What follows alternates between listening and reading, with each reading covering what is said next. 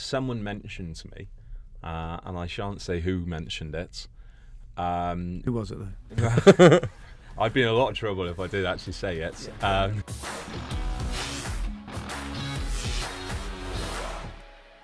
Hello and welcome to another telecoms.com podcast. Just to remind you, if you're listening on SoundCloud or iTunes, you can also watch the video on YouTube or on our site, and vice versa. If you're watching the video, you can download it on SoundCloud or iTunes. Uh, this week, I have with me Jamie Davies, as ever, Hello, Scott. and the enormous pleasure of Ray Le Maistre, who was conspicuously absent last week um, from Light Reading. Hi, Ray. Hello. So uh, this week we're going to be talking about whether 3UK has the right to challenge the 5G auction we're having here. Uh, we're going to ask whether we have any control over our digital lives, and we're also going to ask whether telcos have got a clue about what's going on in their networks. Now, the 3UK one, that's me, so I'll introduce myself. Scott, over to you. All right, thanks, Scott. Um, and I'm going to say that the three finally came up with its. Um, I can't remember what the technical term is. Uh, some kind of judicial inquiry or whatever Judicial review. review. There we go.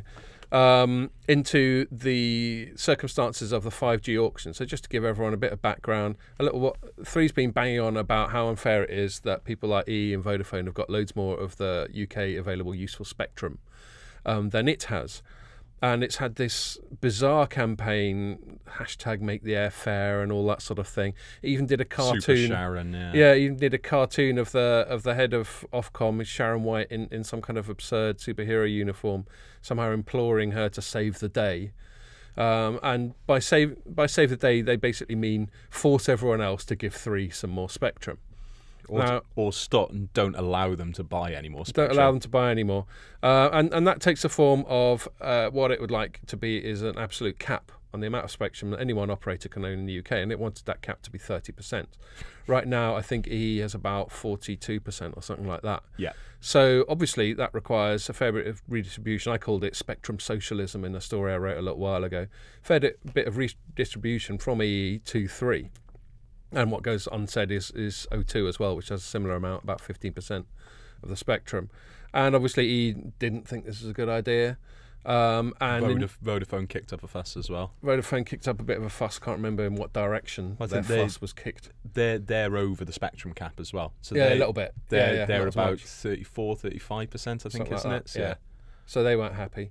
Uh, and and Ofcom, as the arbiter of these things, was forced to make a call, and they went, "All right, we're going to cap it at thirty-seven percent." Um, and you'd think that was a sort of happy little medium, but you know, three obviously wasn't happy because it didn't get thirty percent.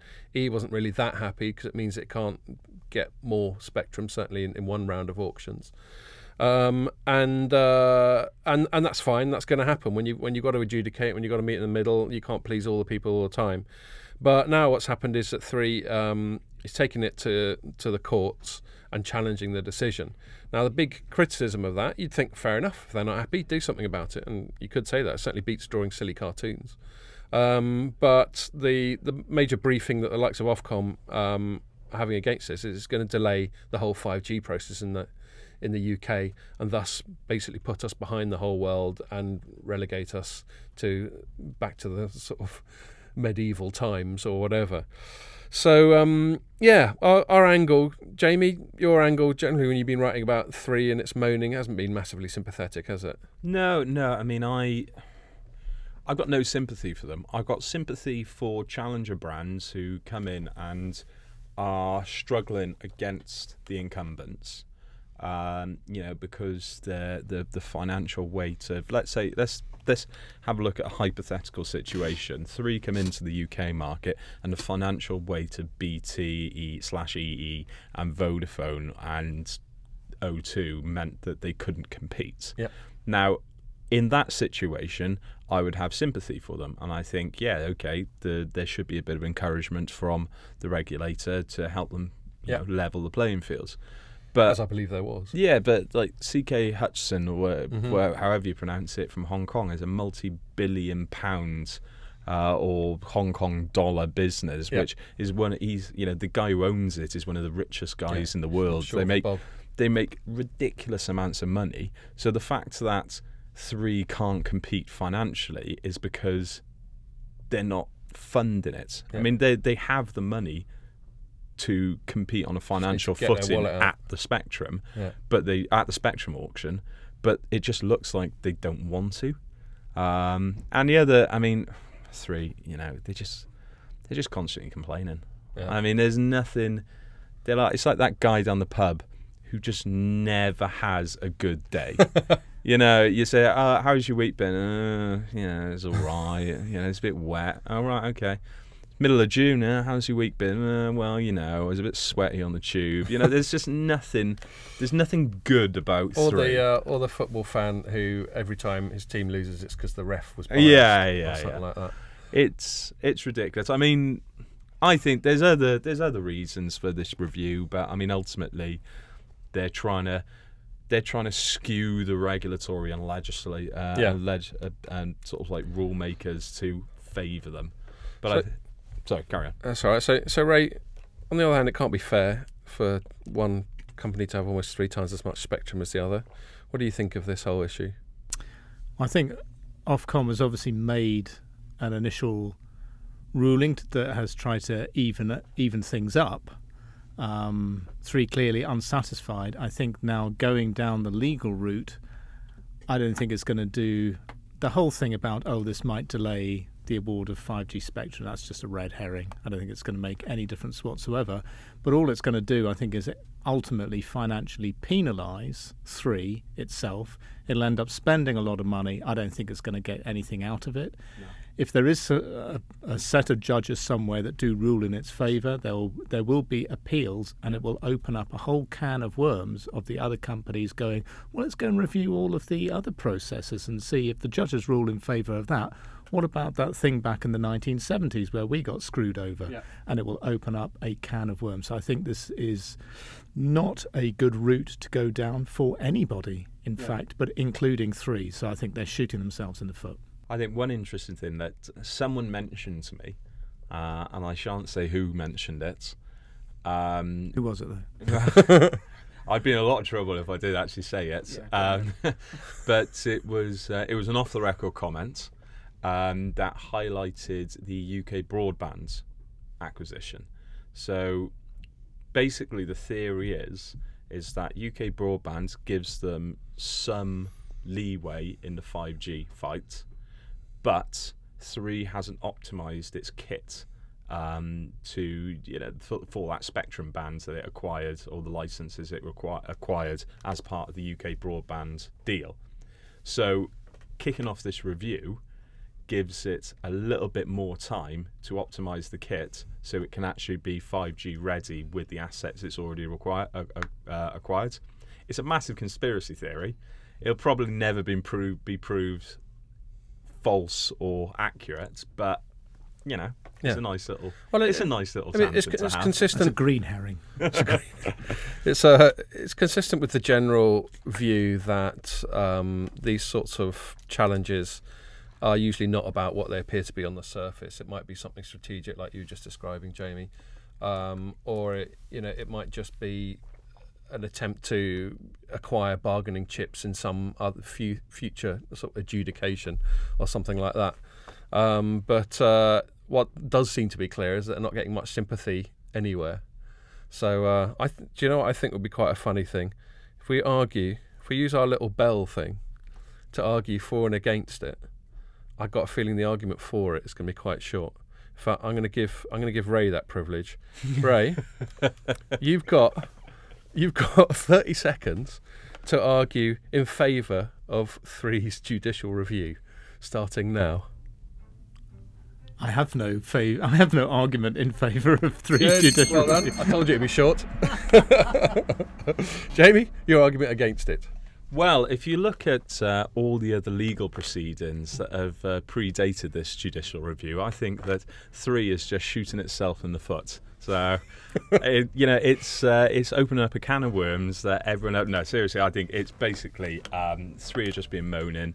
They they don't want to they don't want to contribute money and actually battle on an evil ground. I don't. I, I just don't think. I think they're just being moany little bastards. Steady. Uh, cool. Okay, moving on.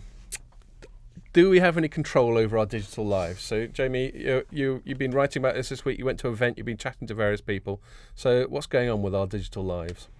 Yeah, it's quite. Um, um, so I was at CloudSec earlier this week, and um, it was a really good event. Actually, really enjoyed it. And one of the websites that was really brought to my attention, and I'd recommend everyone having a look at it because it's quite. Um, I didn't realise I'd been breached quite a few times, Oh. but it's called so to speak. as you as you do. Where's this video going? So it's called Have I Been Right? I, I don't know how to pronounce this. Have I been Pwn- pwned? Yeah, it's owned but with a P. It's Yeah, some sort of internet pwned. speak. Yeah. It's have I p w n e d dot com, and basically you type in your uh, any email address, and it shows how often that email address has been associated with a breach. And I think the bigger argument is, or the the bigger point is, how many people actually have an understanding of their digital footprints and what the digital economy actually means to us as consumers. So if we start with the second one, what it means to us as consumers, if you say data is the new oil, algorithms are the new refinery, and our personal information is how we're going to pay for things. So we give away personal information in instead of paying Yep. for services, information. How often do you keep track of that information that you're giving away? I mean, for instance, how many apps? That, that, I know you're not going to know this off the top of your head. Yeah. How many apps have you downloaded for your phone over the last two years? What, Loads. hundred? I'm sure you can download an app that would tell you that. yeah, you possibly can, possibly can. But, but I mean, my point is, like, I got no idea.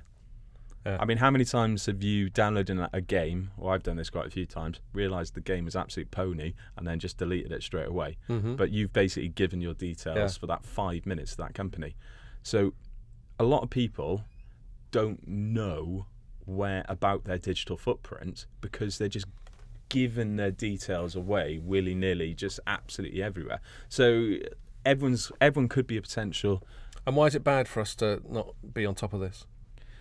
I mean, you can have something. bre- I mean, there could be a breach, and you've got no idea that you're involved Right. with it. I mean, your details like A breach being where, where your details are just are leaked onto into the dark yeah. web, which happens all the time. doesn't it? Yeah, yeah. We just we just had one as we speak, uh, but they seem to happen every day, and they're normally account, uh, accompanied by all the, the predictable press releases from security companies. yeah.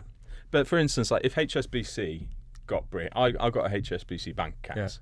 If they got breached, You've just I'd given some personal data away there, by the way. Yeah. Fine. Um, you can you can blank that out, Pierre. Um, if they got bre- if they got breached, I'd know about it. But what about some Mickey Mouse little game Yeah. developer in the Philippines that I once downloaded a game, and they get breached, and Yeah. all of a sudden my personal information there is out, and I've got no control over that because I've got no awareness that they have my personal information. So EU, EU GDPR, those sorts of things, it gives the consumer more control, but there's just literally no awareness about what our impression on the digital economy is at the moment. Is this uh, is the control over your sort of digital presence something that keeps you awake at night, Ray? Nothing keeps me awake at night, Scott. Uh, um, no, I think That's it's. because you've got your aggressive drinking habit. I think uh, I'm not sure that anybody, uh, apart from the people who've completely cut themselves off from a, any kind of digital lifestyle, I'm not sure anybody really knows how much their inf- where their information is stored or how much it's travelled. But even if they do, what we don't know is how that's going to come back and impact our digital lives in one, three, five, ten years' time. Um, so I think you know, I mean, I joked about you can probably download an app that can tell you where your information is. I mean, that is something I think that everybody, um, you know, should have, and it should be freely available, and, people should be encouraged to have, because I think it'd be quite shocking for a lot of people to find out where their information is stored, or, you know how many e- you know how many email accounts they have and what's going on with those accounts. I think you know would be a starting point. Who's got a Hotmail account they've forgotten about that's currently Yeah. being used to you know um, um, spam the world with the, the, the latest offer of a tw- 20 million um, you know bank account in, in Nigeria or some Viagra, all that kind of stuff. So I think it's all about uh, it's really all about education. I think when people sign up to any new service as part of getting the, the email to verify, there should be information in there about you know do you know about your digital footprint, um, you know.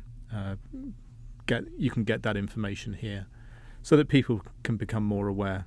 Yeah, and I, I think there probably should be a bit more of a bit more of an onus on the on the companies themselves to not just make you read a ton of small print, which no one does bothers, but just sort of maybe update you a bit more and just sort of keep you keep you informed. I mean, my, my biggest thing about this, and Jamie and I were chatting about it earlier on this week, was and people talk a lot about um, your data being new currency and your you know your digital identity being hoarded out by all these big um, internet companies. And obviously, it's not nice to feel that there's some aspect of your sort of public persona that's not within your control. But I also sometimes wonder whether how it affects me. For example, like advertising. So you got like Google and Facebook make tons of money out of advertising, and they supposedly by seeing what I do, what I like, by sort of sifting through using algorithms, sift through my emails, whatever, they can send more targeted ads to me, which is which is how the ad industry supposedly been revolutionised. But I don't see much evidence of it. I don't see certainly nothing predictive. About the best I see is a, a some suddenly get served with an ad for something on Amazon that I just bought.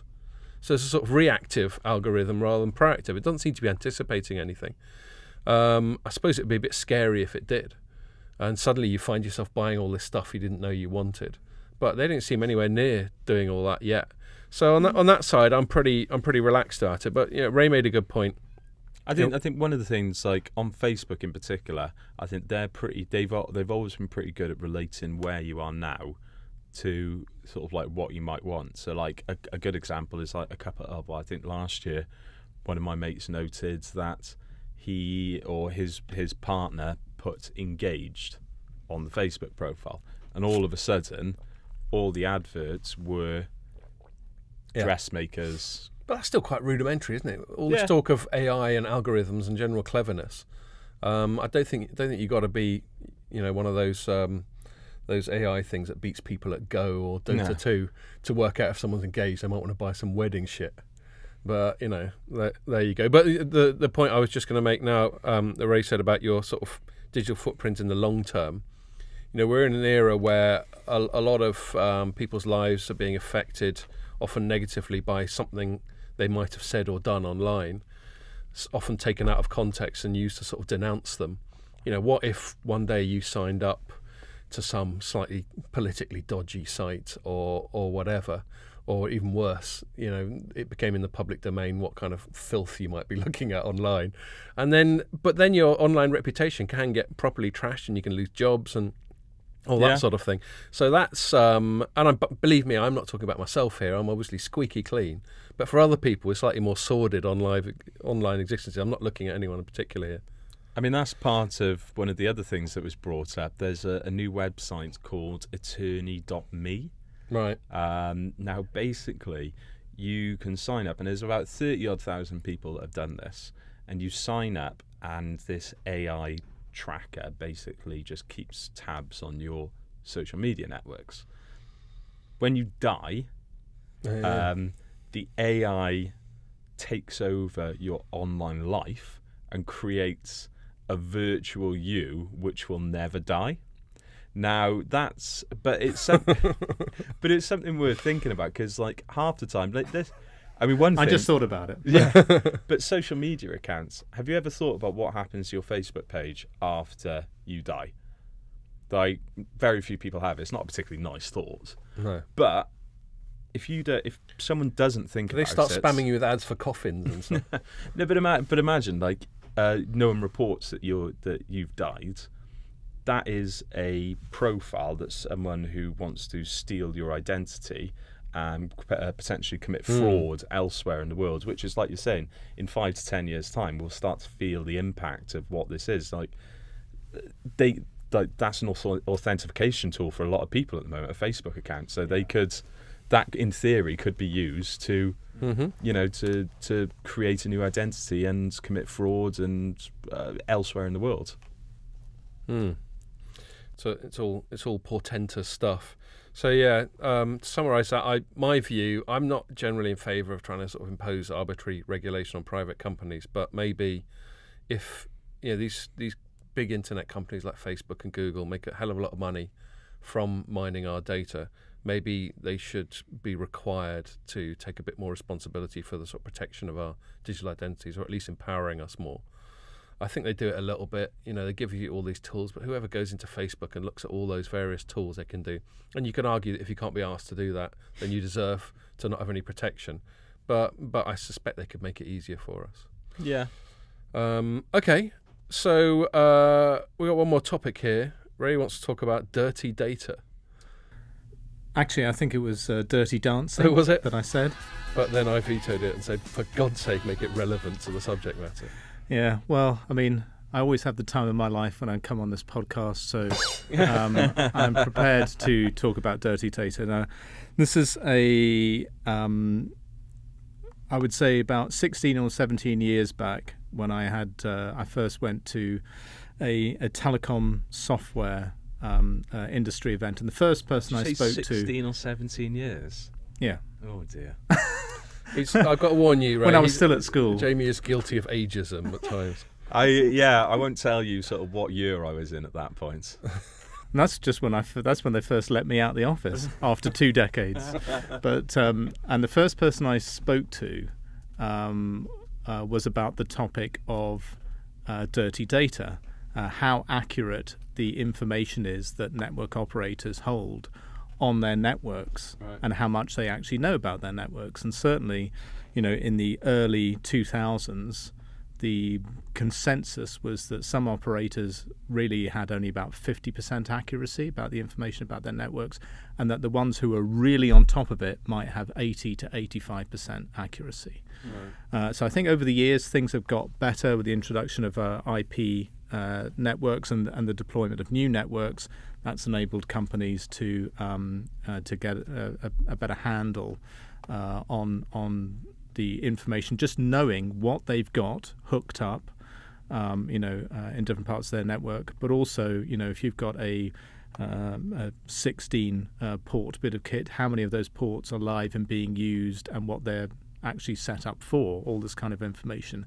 Now, if you consider the current trend around virtualization and particularly the move towards autonomous networks, Yeah. where you're going to let software decide how the networks are configured and how Yeah. the services are set up. Well, if you haven't got accurate information about your networks, how y how is a piece of software Indeed. using inaccurate information going to set up the right services for the right customers with all the right information. It's not going to happen. So I think we are about to hit a new era of concern or scrambling by the network operators trying to figure out do we actually know what we've got?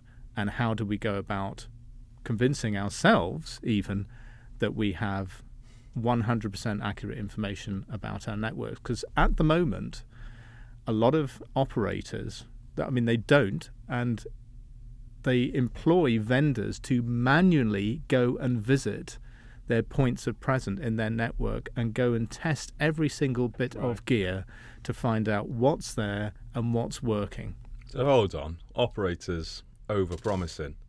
Shut the front door. I mean that can't be happening. I mean, how do you mean over promising Well, I mean, you know, they, they. It sounds like they're overreaching. They're, they're, you know, they've got this idea, but they haven't got the fundamentals in place You to mean actually with the facilitate you mean it. with the autonomous? Yeah, networks yeah, with- we're with very data. early. Do- we're very early doors on the whole the move towards au- autonomy. There's going uh, autonomous networking is going to require an awful lot of um, evolution of the systems already there. But I think they're starting to realise that you know they can do the next three or four years of implementing virt- uh, virtualization capabilities and having uh, you know uh, SDN controllers and uh, orchestration software.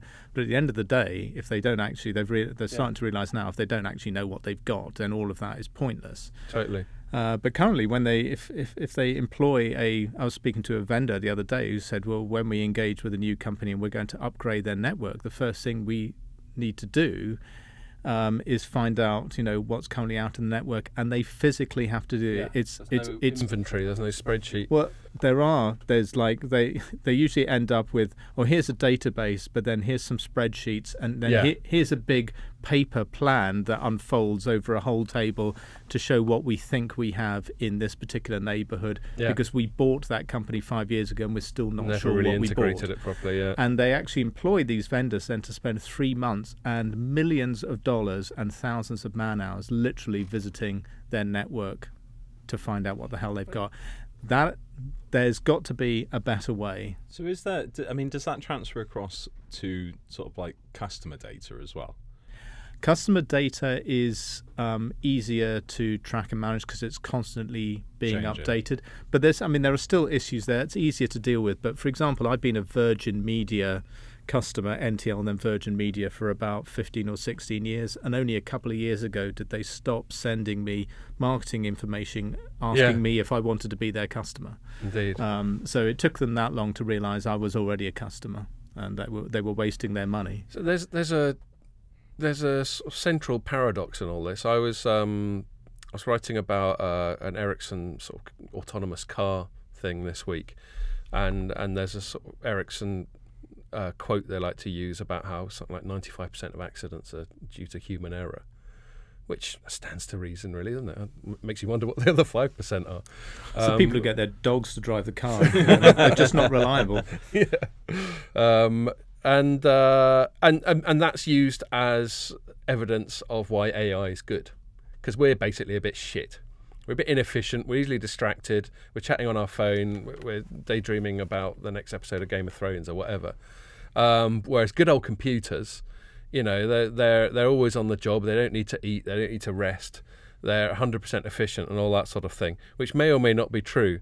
But as you point out, Ray, we, we still need to program those computers. We still need to give them data. Um, and you can have the, the most clever bit of AI, but if it's working with, with on, on a Mm. flawed platform, Or it's given the wrong instructions. well, indeed. Or it becomes autonomous and self aware and decides to launch nukes. No, sorry, that's a, one of my tangents there. Um, so, yeah, I mean, AI, I was, I was looking, when we think about this podcast, we've written about sort of three or four AI stories this week, and they seem to be coming uh, with greater frequency. And they all have this sort of utopian, everything's going to be great once we let the computers take over. Um, you know, we do. We did have one other thing. In fact, uh, we were chatting about this earlier. I might go off on this tangent. We were talking about AI replacing people in the workplace, um, and uh, and what an issue that is from from from an HR point of view.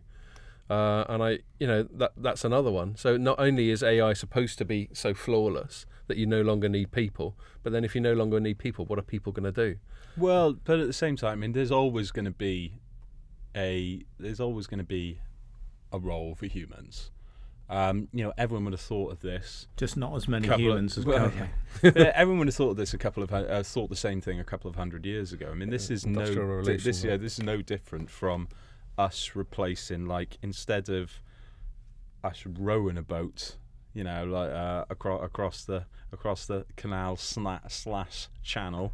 Um, uh, we're we're using a motor, so we're- I mean, the, the the this is the next step of evolution. You know, at that point, it was replacing human muscles with machine, and now we're replacing human mind with machine. Admittedly, for mundane tasks.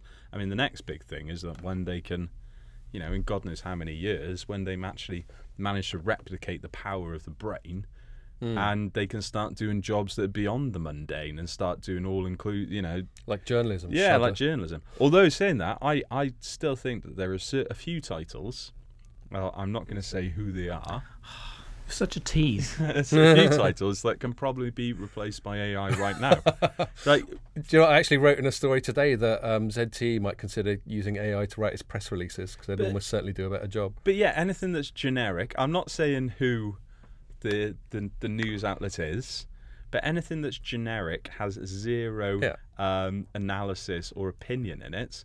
I mean, a machine could do that. Yeah, You know. when it's just rearranging the words in the press release. Exactly. How do you know it isn't already? Yeah, Uh, might well be. Might well be. Um, Have you seen that writer for a while? well, there. I mean, there's Maybe they had their digital identity appropriated by a machine. Oh my god, it started. I think there's one massive title. Oh, Can I say it? Yeah, go on, Yeah, say it. I, What are you I mean, about? like you look at the majority of the news stories that are on the BBC website. I mean, they're just so beige and fact, and it's informing. There's no opinion or analysis because you know it's a public service, so they can't lean left or right when it say. comes to politics or anything Yeah. like that. So They still get accused of it, so they might Yeah. as well. but it's so matter of fact. A lot of their stories, like football reporting, it's so matter of fact. Hmm. You know that there's no reason a computer could do that. Couldn't do that. So, so we got this dilemma where, you know, I, I take your point about the industrial revolution. There's always been progress. There's always been automation. There's always been a desire to for greater efficiency, which basically means getting the same job done by less people. Yeah. Um, and we've found a way. Um, but I still think that there's some genuine concern. Hopefully, not for our profession right now, although our profession has all sorts of other challenges beyond automation. Um, but yes, as you say, the slightly more mundane, repetitive jobs, increasingly, you know, uh, we see a lot of AI to do with uh, customer care and call centres and, and all that sort of thing. And let's not forget the call centres in, in a lot of like the UK, for example, call centres are where people who who sort of fell out of primary or secondary, like going down working down the mines or whatever, ended up getting retrained to go and work in call centres or something like that. And so that now that's being automated. What do they go off and retrain to do? So I think it's a, it's a genuine concern. It'll probably get sorted out. We don't want to get too hysterical, but I think Oh, I people do. are entitled. I, don't, I mean, I think there Go are certain. Lose your shit right here, right now. I mean, there are certain jobs that yeah you can see uh, that are going to get replaced, but there's also qualified jobs that are going to get replaced, and I, I think that'll shock people, Yeah. like bookmakers or clerical staff. Yeah, yeah, well, they in- reckon they're in quite law statty. firms or something like that. Accountants, uh, insurance underwriters, that sort of thing. Yeah, I mean that's that could be that could be gone. A load of those, a load of those jobs could be wiped out. Yeah, uh, the trend I see at the moment is that, um, major companies who have very large headcounts are trying to persuade the world currently that the introduction of automation is not going to impact jobs, and Yeah. that is They'll still have the same number of jobs. No, they won't. It's just they're, that's they're create- bullshit. They're creating new jobs. They That's will create they will create some, Yeah. but not as many as they will get rid of. They just don't want to scare the workforce currently, and they they're not doing a very good job at convincing the world that this is, this isn't going to have an impact on headcount. I think they need to be a bit more Well, that's upfront about it. that's what the I mean it's the it's perfect PR work really isn't it? They're saying don't worry AI will create these jobs. And so you know and we're doing a bit to retrain our current staff but 90% of the time the person who's doing the mundane job that's going to be um, sort of replaced by the machine they're not going to be an ideal candidate for the data scientist job which has been created. Um, you know so like you said yeah they're It's not like for they're like. glossing over. They're, that's what I mean. And like you said, they don't want to scare them too much. And I think it's partly because they don't really know. Because you know, for a lot of, if you're a very very large company, yes, there might be people who aren't suitable to be retrained, but that also, you know, the introduction of automation might give some very large companies the opportunity to branch into a new area of business that they're not currently in, using their existing workforce. And it depends then how they plan that efficiently and um, if they have a very good training uh, plan in place. But I'm not sure anybody has at the moment. But large companies will be looking at this and thinking, do we want to get rid of a whole load of people? How much would that cost us? Is they what are the what is the opportunity here? Maybe to develop new areas of business. yeah. I mean, ultimately, you know. But they're people, who are like to generally money. stupid, and they probably won't. But yeah, but they're they're people who like to make money. So you give them That's what the it's all opportunity. about. Let's not forget this is what it's, this Yeah. is what it's only about. Nobody look- really gives a damn. And you look at sort of quarterly earnings calls and that sort of thing. Uh, quite often, the thing they're most proud about is greater efficiency and lowering overheads and all that sort of thing. Great quarter, guys. Can you give me some more colour on that? yeah, yeah. We we made a bunch more people completely redundant through that machine in the corner there. and I will invest in your stock. Excellent. I'm happy. I'm a happy capitalist. Um, cool. Okay. Well, that's sort of slightly ominous. No, well, I, I, I think I'll just sign off by saying, hopefully, they will never come up um, with a computer that can replicate three people talking shit in a room. On that note, Yeah. uh, and until then, see you next time.